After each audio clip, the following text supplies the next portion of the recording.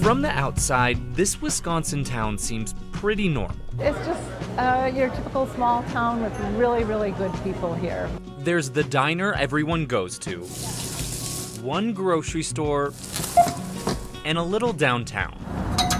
Just about 5,000 people live here. Everybody knows each other. But one thing makes Union Grove stand out We're kind of the best kept secret. the diner, bank, grocery store, and other small businesses all focus on hiring people with disabilities.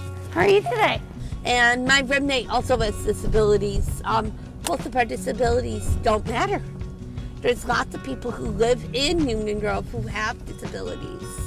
This didn't happen by chance, Mm-hmm, I love it here. but by design. I want to make this clear. It's not done out of pity or anything like that. It's inspired by Shepherd's College. The three-year school for kids with developmental and intellectual disabilities like me.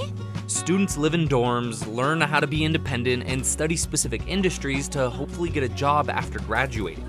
Chop, chop, chop. Students with intellectual and developmental disabilities have unrealized potential. The town of Union Grove has banded together behind a common goal give everyone an equal chance. They treat us like normal people. We're just normal people. Our disabilities don't matter. Hi, my name is Rachel Ahrens. I live in Union Grove, Wisconsin, and welcome to my block. I met with Rachel so she could show me Union Grove and Racine County through her eyes and experiences. Everywhere we went and who we talked to was all up to her. There was no script to follow. Welcome to Rachel's neighborhood. We are walking into Piggly Wiggly in Union Grove. This is where I'm paid. Rachel started in the bakery section and now works as a grocery bagger. Oh, I love it. I love working here. Rachel is a light every day. She's always got a positive attitude. This Piggly Wiggly has hired part time employees and a dozen interns from Shepherd's College. The school has an 80% job placement rate for graduates. You know, everybody is accustomed to students from Shepherd's College being around.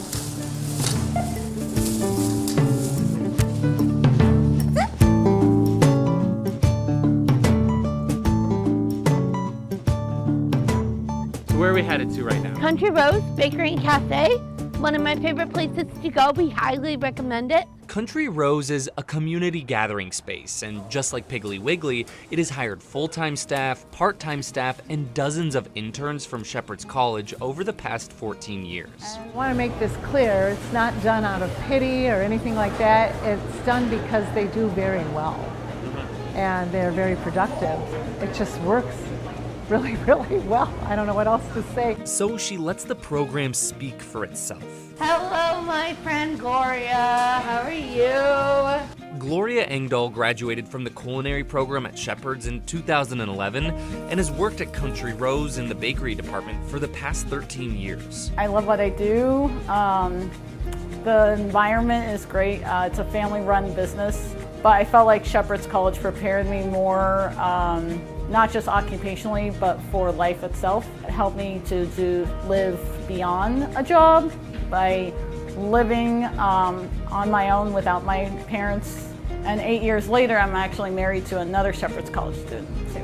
Along with the culinary program, students can also choose between a technology and horticulture pathway.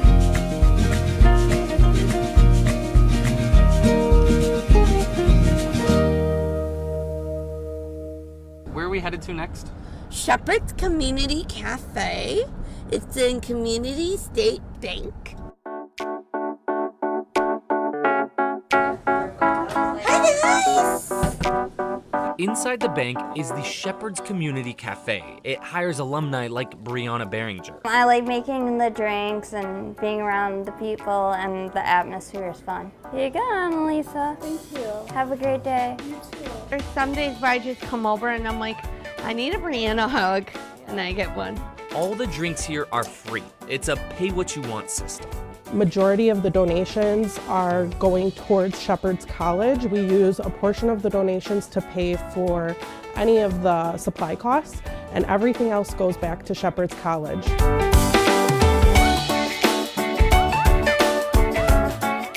We have three alumni from the college here that work on a continual basis. And then throughout the school years, we have other students that kind of substitute in.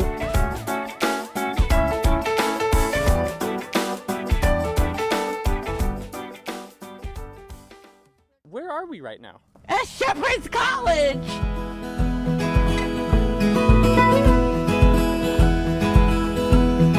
I just knew to get interviewed. I know, I'm so Heads up. Most of our lives is when we're um, as an adult and we're employed and we're living independently, and so we want to provide the same opportunity for our students.